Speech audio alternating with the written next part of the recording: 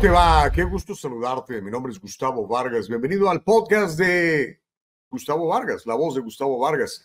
Es un privilegio servirte como de costumbre. Muy agradecido con todos ustedes que ya se han suscrito al canal de YouTube de Voz Media. Muy agradecido con todos ustedes que han descargado la aplicación de Voz Media. Muy agradecido con todos ustedes que están en Apple, que están en Roku, que están en Spotify.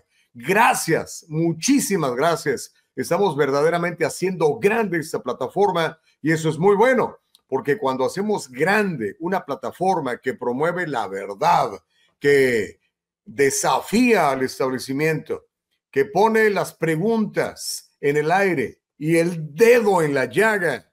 Eso es fantástico, porque la izquierda no tiene respuestas. La izquierda solamente tiene mentiras, control y poder. El día de hoy tenemos un verdadero programazo. Gracias de veras por estar con nosotros, gracias por eh, descargar la aplicación, gracias por estar en YouTube y todo lo demás. Gracias, mi querido Gio, por la producción. Gracias uh, también al señor uh, Ray. Gracias, mi querido Raymond, por apoyarnos y a toda la gente de Voz Media por creer en este proyecto. Hoy tenemos un verdadero programazo que lamentablemente es una verdad que está sucediendo en California y que si no te pones las pilas, hermano querido, donde quiera que te encuentres en los Estados Unidos de América o fuera del territorio de Estados Unidos, te puede llegar a pasar en tu comunidad, en tu país. De hecho, ya hemos escuchado locuras como que en Canadá, por ejemplo, te puedes casar con tu perro. Bueno, acá en California no cantamos mal las rancheras. Y al mejor estilo de Vicente Fernández, acaba de componer una canción, el nefasto gobernador de California, Gavin Newsom. ¿Cómo se llama la canción? Destruyamos a las familias de California. es la obra malvada de Gavin. Así le hemos puesto a este podcast que espero que disfrutes en el sentido de que aprendas, porque obviamente lo que voy a compartir con ustedes el día de hoy es duro, es fuerte, es complicado, es realmente abominable. Destruyamos a las familias de California. Así se llama la canción compuesta por el gobernador de los californianos, el señor Gavin Newsom. ¿Por qué hablo de esto? Mire, me tengo que poner los anteojos para poder leer mi pantalla y poderle ofrecer con pelos y señales todas las leyes que este 30 de septiembre pasado terminó de firmar el gobernador del Partido Demócrata, Gavin Newsom. Así que el día de hoy le voy a hacer un resumen de las leyes del 2024 que particularmente atacan a los niños y a las familias.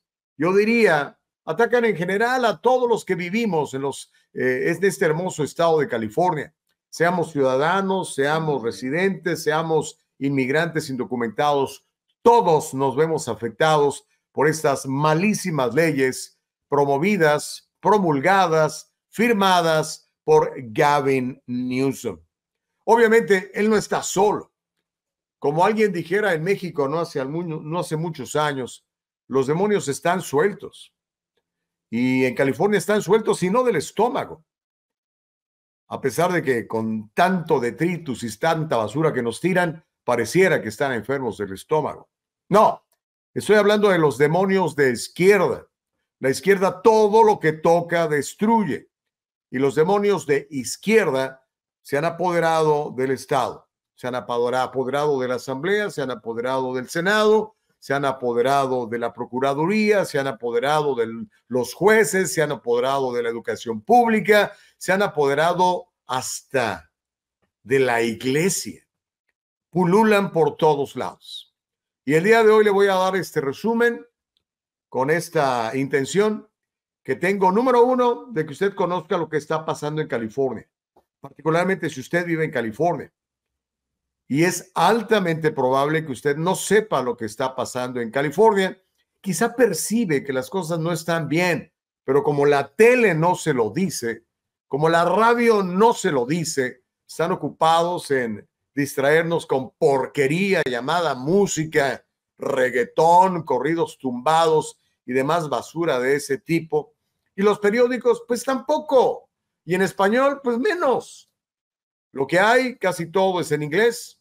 y todo está vendido, todo está comprado por las élites, por estos grupos metidos en el estado profundo que quieren controlar las mentes de los que vivimos en California. Ahora, quiero que se entere lo que pasa en California, aunque usted no viva en California. ¿Por qué? Porque hay otros estados que están emulando las malas prácticas de California. Me refiero a estados como Illinois. Me refiero a estados como Minnesota.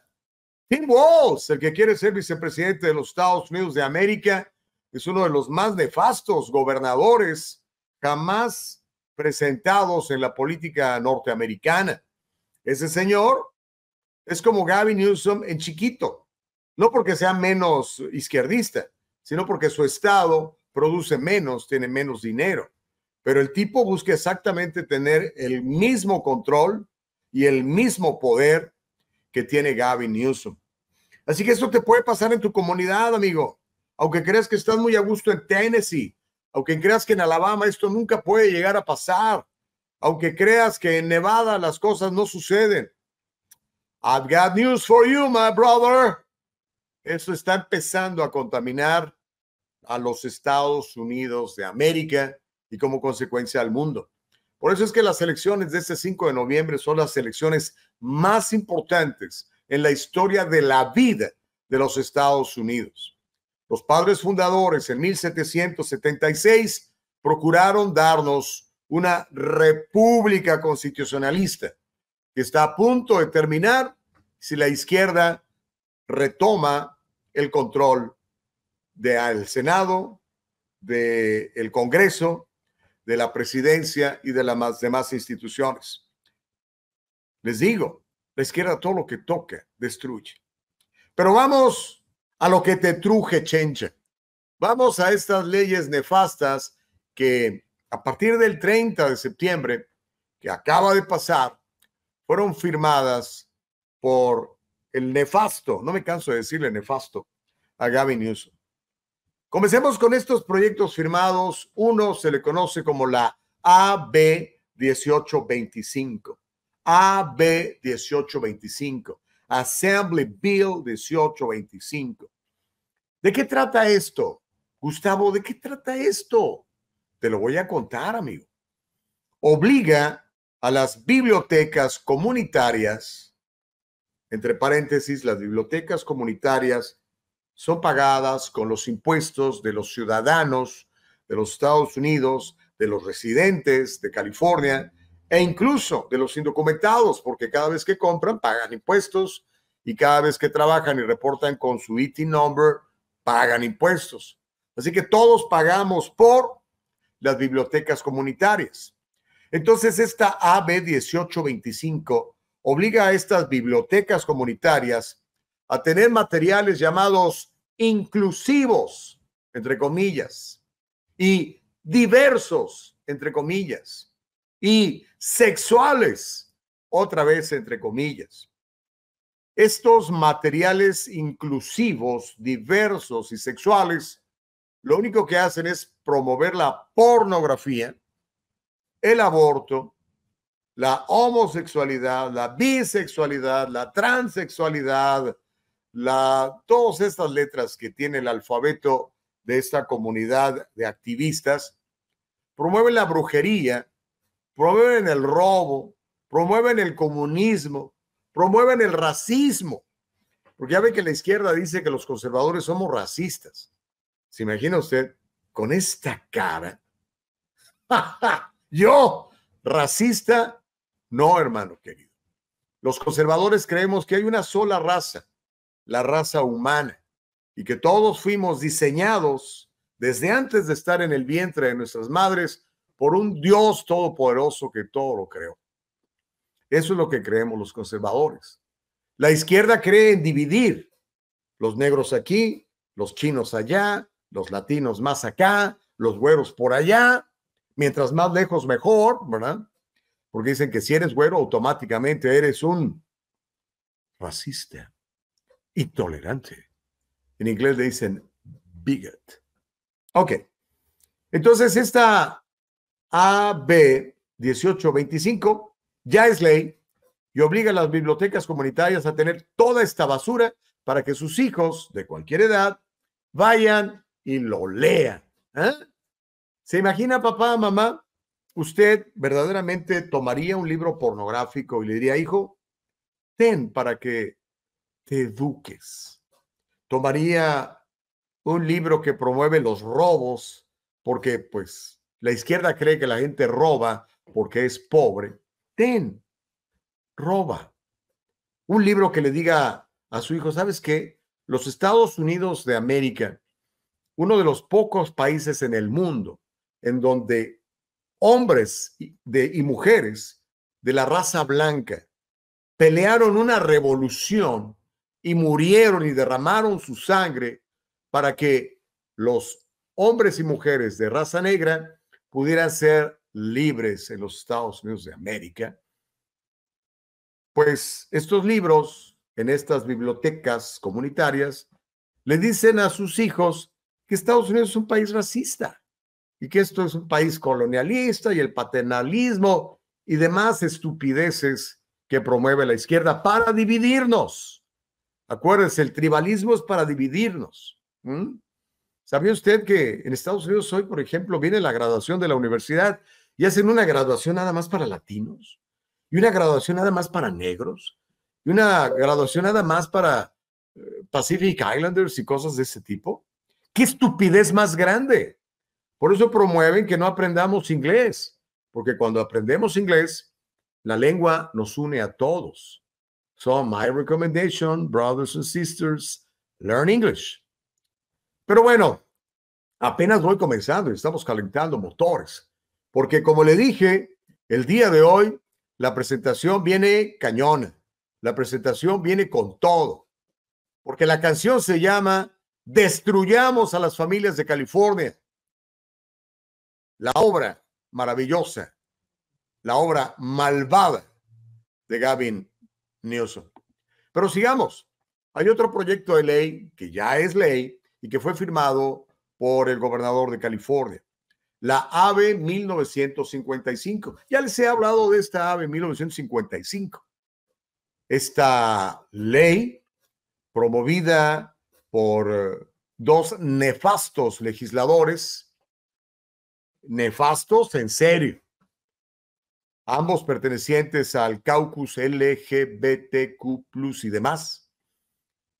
Le prohíbe a las escuelas públicas, otra vez insisto, públicas, es decir, nosotros, los ciudadanos, los residentes, los indocumentados, todos los que trabajamos y nos quita dinero el gobierno para los impuestos, pagamos por estas escuelas públicas. Pues bueno, el gobernador lo que hace es, dice, bueno, con todas estas escuelas públicas, lo que vamos a hacer es prohibirles a todos los empleados de las escuelas públicas, desde el director de la primaria, secundaria, preparatoria, hasta el barrendero que limpia los baños de la institución, todos tienen prohibido informarle a los padres sobre la orientación sexual, la identidad de género o la expresión de género de un alumno, a menos que el niño lo consienta. Y prohíbe cualquier castigo a un empleado que haya apoyado a uno de estos niños confundidos, preparando a los niños a través de sus derechos, de sus actividades laborales y obviamente de toda la instrucción encaminada a confundir a nuestros niños y decirlo, no, hijo, tú no estás confundido. La realidad es que tú naciste en el cuerpo equivocado. Tú no eres una niña, tú en realidad eres un varón o viceversa. No, niño, tú no eres un varón, no eres un macho, un ente masculino. Está una mujer adentro de ti y estás atrapado. Así que, ¿qué te parece si comenzamos la transición? Ya no te voy a decir Pedro, te voy a decir Petra. Puedes traer tu ropa escondidas de tus papás y aquí en el baño te cambias y te pones un vestidito. Y todos te vamos a decir Petra. Y el que diga algo, lo corremos.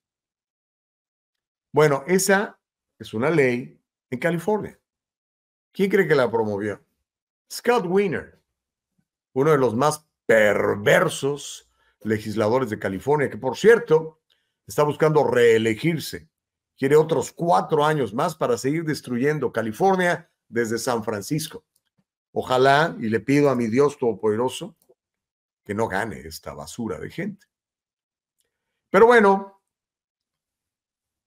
como decía aquel famoso presentador de la televisión mexicana, Raúl Velasco, aún hay más. Le quiero platicar de la AB 2085. Asústame, Panteo. ¿De qué habla la AB 2085? Escuche esto. Presiona a las ciudades, sobre todo a las ciudades pequeñas, no me refiero a Los Ángeles, ni a San Diego, ni a Sacramento, ni a Long Beach, ni a San Francisco. Me refiero a esas ciudades pequeñas, que hay cientos en California, pues esta AVE 2085 presiona a estas pequeñas ciudades a abrir centros de aborto. No estamos matando suficientes niños en California. Así que necesitamos matar más. La AVE 2085 presiona a estas pequeñas ciudades a abrir centros para matar bebés en los vientres de la madre y reduce radicalmente los estándares de aprobación, elimina el control local y permite demandas tanto privadas como estatales para hacer cumplir esto. Se lo voy a explicar un poquitito más detallado.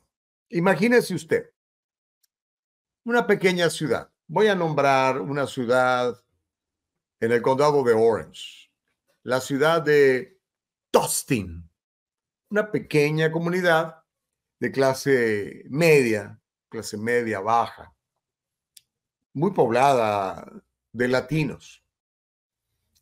Llega una organización multimillonaria que asesina a miles de bebés todos los días en Estados Unidos, que se llama Planned Parenthood. Planned Parenthood dice, ah, pues sí tenemos muchos centros donde estamos matando bebés en Orange, pero nos falta una en Tustin. Así que vamos a ir a ponerla en Tustin. Vamos a hablar con el concilio de la ciudad de Tustin. Vamos a convencer, no sé si con dinero o untando manos, a tres concejales de los cinco para que nos lo permitan. ¿Ok? Resulta que el pueblo se une se entera y dice, no, no queremos lugares donde asesinen bebés en nuestra comunidad. La señora que quiere matar a su bebé que se vaya a otra ciudad. Entonces, Plan Parenthood, con esta nueva ley, puede presionar, puede demandar, y si alguien tiene dinero para establecer un litigio en contra de una pequeña ciudad, es Plan Parenthood. Recuerden, estos señores generan miles de millones de dólares y reciben miles de millones de dólares en donaciones y fondos de parte del gobierno, de nuestros impuestos, para proveer la matanza indiscriminada de bebés. Y ahora les ha dado también en plan Parenthood, no nada más por matar bebés, también le está dando por castrar personas. Usted puede llegar ahí y decir, no me identifico como varón, yo quisiera empezar la transición. Venga, tenemos el Lupron para castrarte químicamente y después vemos qué más te cortamos. Esa es la AB 2085. Ya es ley en California. Puede llegar a pasar en tu estado. Tú sabes que Plan Parenthood, por ejemplo, tiene centros de información en todas las escuelas secundarias de California? ¿En serio? Tus niñas, tus jovencitos en las escuelas públicas de California reciben información, bueno, reciben condones, reciben partidas anticonceptivas y reciben información sobre cómo practicarse un aborto. Además, en California desde hace muchos años, si una menor de edad está embarazada, tiene todo el derecho de ir a un plan Parenthood o cualquier, otra, o cualquier otra de estas clínicas abortistas y matar a su bebé sin que su papá, sin que su mamá, sin que nadie se entere. Es más, está prohibido que los papás se enteren que tu hija menor de edad tuvo relaciones sexuales, se embarazó y fue a matar a su bebé. O a lo mejor fue violada. Así están las cosas en California. Pero como le digo, esto apenas comienza. Los demonios están sueltos. Los demonios están desesperados. La agenda de izquierda busca destruir a nuestras familias, a nuestros hijos. La canción que entona desde Sacramento el gobernador Newsom se llama Destruyamos a las familias de California. Y lo está intentando con todo su corazón, con todas sus ganas. Se le olvida a Gavin que él está casado y que tiene hijos. Seguramente pensará, ah, mis hijos van a las escuelas privadas más caras del país. Nada de eso les puede llegar a pasar. No lo sabemos, Gavin. Acuérdate que tienes cola que te pise. Tienes rabo de paja, como decían los antiguos. Destruyamos a las familias de California. Esa es la canción que entona Gavin Newsom. Pero continuamos. Antes, ¿le está gustando esto? ¿Le parece que esto es de valor? ¿Le parece que esto merece ser conocido por más personas? hágame un favor, comparta esto. Ya se suscribió a nuestro canal de YouTube. Ya descargó la aplicación de Voz Media. Ya está en Roku. Ya está en Spotify. Ya está en Apple escuchando todo esto. Ya copió y pegó el enlace y se lo mandó a su comadre que está pegada a la telenovela viendo narcotraficantes y mujeres con poca ropa. Ya se lo mandó a su compadre, que está viendo si las Chivas finalmente ganan o el América le regalan otro penal. Necesitamos despertar a nuestra comunidad. ¿Sabe usted que el voto latino puede llegar a ser crucial en estas elecciones del el 5 de noviembre? Pero solamente puede llegar a ser crucial si, número uno, nos registramos para votar y número dos, votamos y votemos por el amor de Dios de acuerdo a nuestros valores, a nuestra conciencia. Los latinos creemos en Dios. Los latinos respetamos a la familia. Los latinos respetamos la vida. Los latinos, latinos amamos a nuestras hijas y a nuestros hijos. A los latinos no nos gusta que el gobierno nos regale nada para controlarlos. A los latinos nos gusta ganarnos nuestro dinero y quedarnos con la mayor parte de él para que no lleguen los gobiernos de extrema izquierda a ponernos altísimos impuestos, para esos impuestos utilizarlos en nuestra contra y destruir nuestras familias y nuestras comunidades. Sigamos adelante porque, como le digo, hay mucho que le quiero compartir en esta ocasión aquí en la voz de Gustavo Vargas. ¿Qué tal si le cuento de otra ley que acaba de firmar el gobernador y que entró en vigor ya. Es la AB 2099. La AB 2099.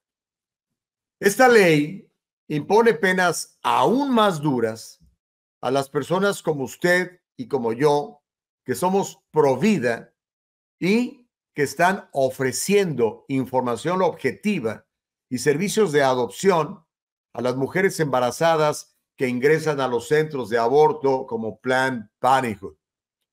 Se le explico más facilito. Están, ¿Ha visto, alguna vez ha visto estos centros abortistas? Hay uno en su comunidad, hay un Plan Parenthood matando bebés en su barrio. Yo le cuento. Junto a una de mis oficinas, donde hacemos a lo que me dedico, finanzas y todo esto, a un lado, tengo un centro de estos, en donde se sacrifican a diario decenas de niños. Veo llegar a esas mujeres muchas de ellas muy jóvenes, a veces solas, a veces acompañadas por sus novios, me imagino, todas nerviosas, todas tratando de ocultar su rostro. Y hay ocasiones que en las afueras de Plan Parenthood hay grupos de hombres y mujeres orando, pidiéndole a Dios que estas mujeres se arrepientan y no lleven a cabo la misión para la cual llegaron a Plan Parenthood, es decir, eliminar una vida, acabar con un proyecto diseñado por Dios y practicarse un aborto. Pues bueno, esta ley, la AB 2099, impone penas aún más severas, porque ya hay penas, para los hombres y mujeres que están afuera de estos centros abortistas y donde le dicen a la gente, hey, don't kill your baby. Just don't kill him. No lo mates. Y le ofrecen un panfleto. Quizá le ofrecen, eh, para los que son católicos, un rosario. A lo mejor una Biblia o un Nuevo Testamento. Es ilegal. No se puede hacer. Dejen que maten a los bebés. Ese es el mensaje del gobernador y su gavilla. Esa es la ley AB 2099. No sé si ha escuchado. Hay gente, hay gente que ya ha ido a la cárcel en Estados Unidos por hablarle a estas mujeres que están en punto de entrar a matar a sus bebés en estas clínicas y les dicen no lo hagas. A veces la mujer se enoja, lo señala y dice, aquella señora me acaba de decir que no mate a mi bebé. Viene una, una querella, llega la policía, las arresta, los arresta. Pero bueno, hay más. ¿Qué le parece la AB Assembly Bill? La AB 2319. Yo no sé si el gobernador Gavin Newsom es hijo de una tía o de plano no tiene madre. Le voy a explicar por qué le digo lo que le digo. Resulta que la AB 2319 reemplaza I cannot believe this. Reemplaza la palabra madre con la frase de personas que dan a luz. ¿Por qué?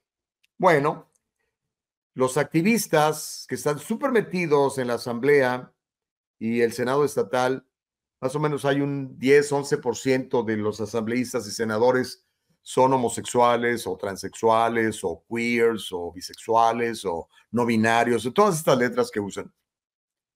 La AB 2319 reemplaza la palabra madre con la frase personas que dan a luz, porque dicen ellos que de esa manera incluyen a todos, como si los hombres pudieran dar a luz.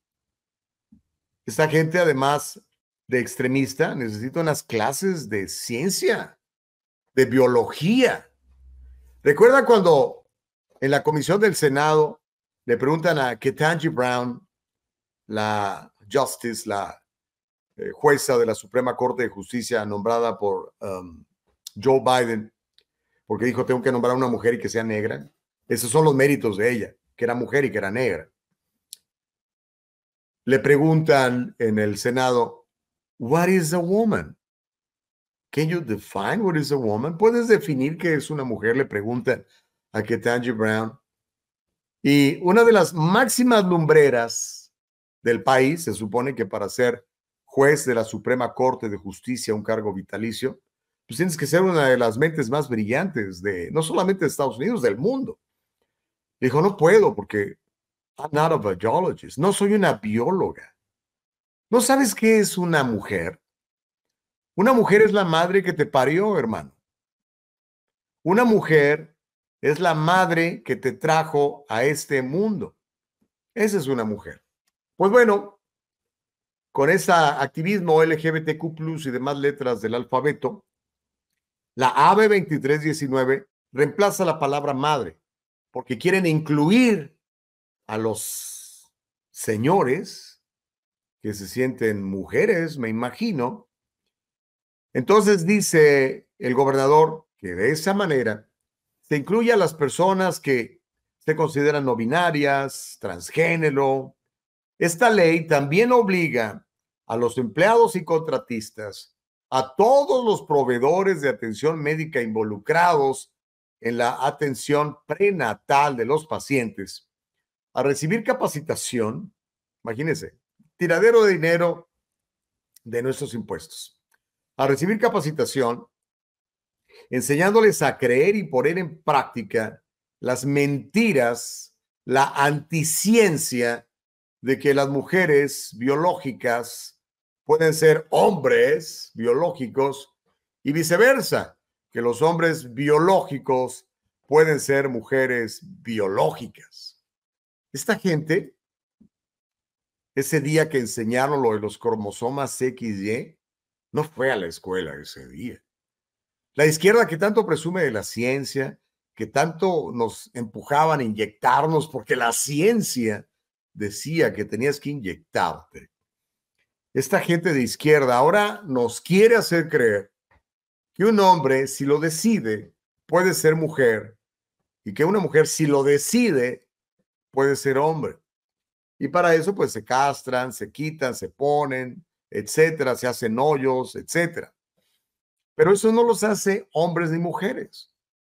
El día que esas personas mueran y 500 años después han encontrado sus restos y vean los huesos de esa persona, van a decir, este es el cadáver de una mujer, este es el cadáver de un hombre.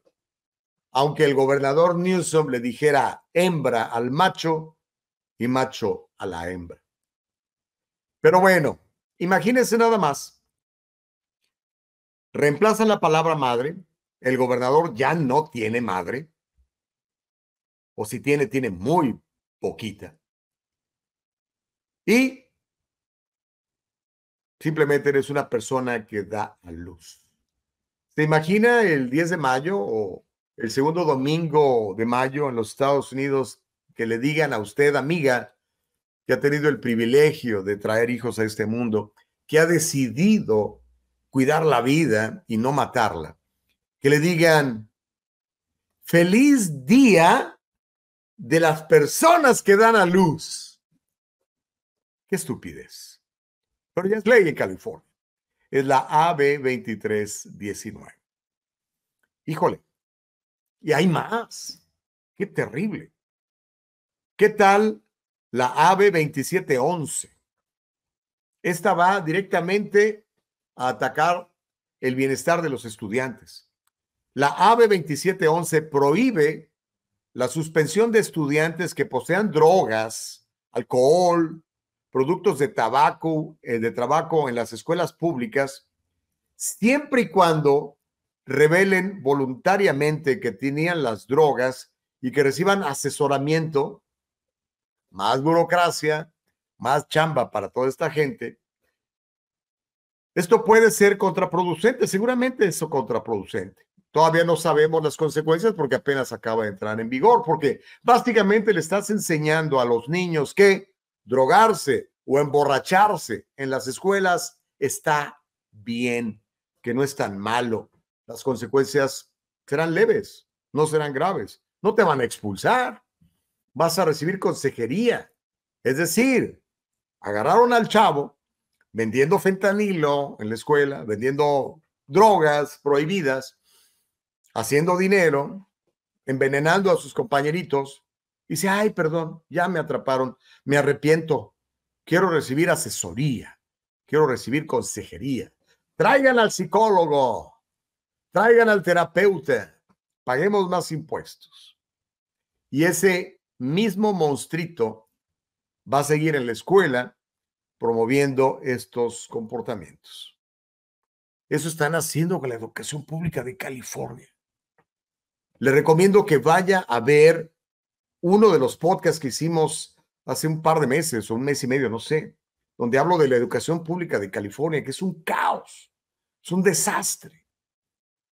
Tiran y tiran y tiran miles de millones de dólares y los únicos que se benefician son los políticos de izquierda, los sindicatos de izquierda de los maestros, el California Teachers Association, el UTLA, el sindicato de maestros de Los Ángeles, que además reciclan todo ese dinero y se lo dan a los candidatos de izquierda para que sigan promoviendo más de estas leyes.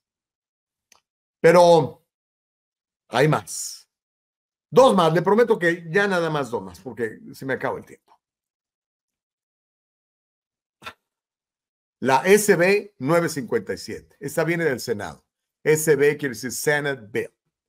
La SB 957 obliga a los proveedores de atención médica a encuestar a los pacientes sobre homosexualidad, bisexualidad, transexualidad a través de formularios y cuestionarios. Además, reportar esta información personal a los departamentos de salud del condado y también al estado. ¿Cuál es la necesidad, pregunto yo, que un médico, que una enfermera, cuando está viendo a su paciente, ahí en todos los papelitos que está anotando, eh, ¿qué medicinas toma? Hace ejercicio, tiene alta presión. Oiga, ¿y es homosexual? ¿Le da por la transexualidad? ¿Es usted queer? ¿Es usted bisexual? ¿Está haciendo transición? Pues bueno, todo eso tiene que ver con la normalización de todo esto, para que la gente se acostumbre. ¿Y sabe quién se está acostumbrando? Sus hijos.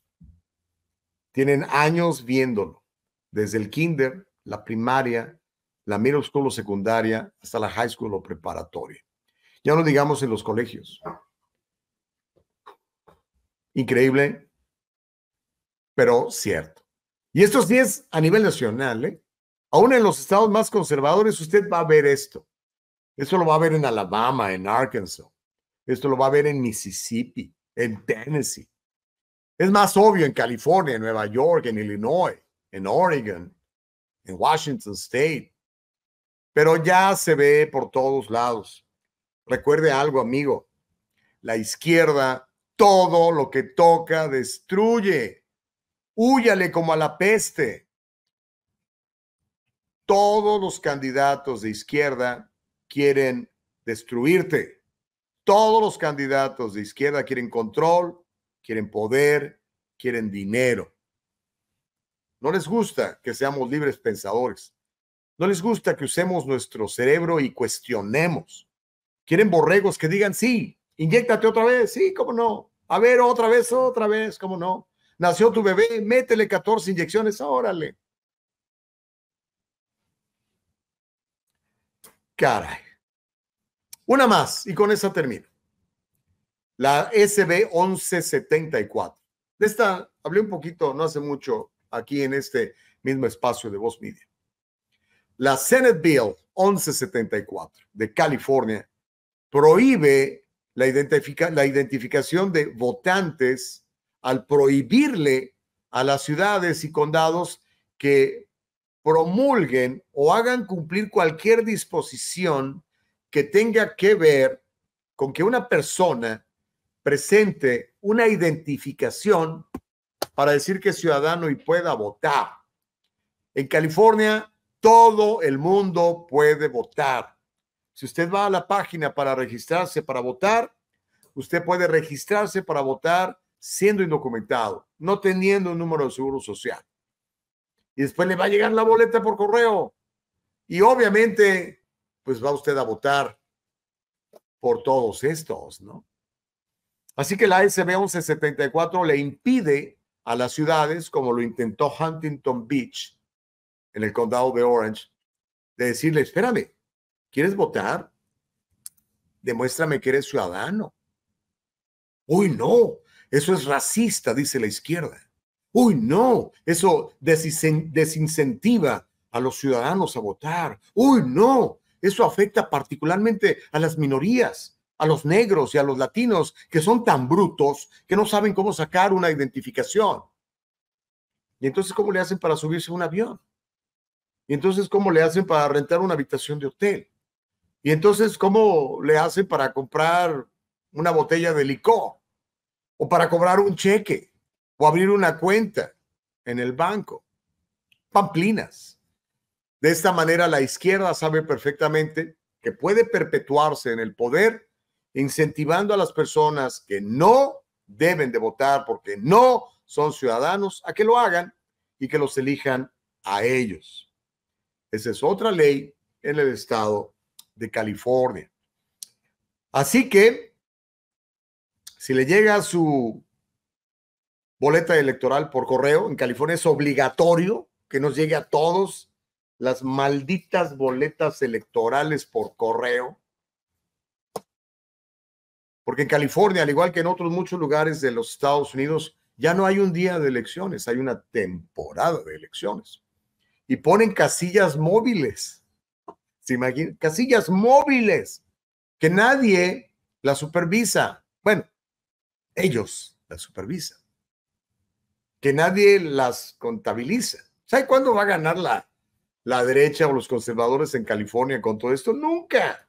Porque además en California tenemos otra cosa que se llama el ballot harvesting, que también, desde mi punto de vista, es una práctica anticonstitucional, pero como nadie la ha desafiado, pues la siguen aplicando en California en donde yo, por ejemplo, puedo irme aquí a mi barrio y decirle a, todos los señores, ¿saben qué? Denme sus boletas. No se preocupen, yo las deposito por ustedes el día de la elección. Eso hacen las ONGs, hacen los sindicatos, etcétera.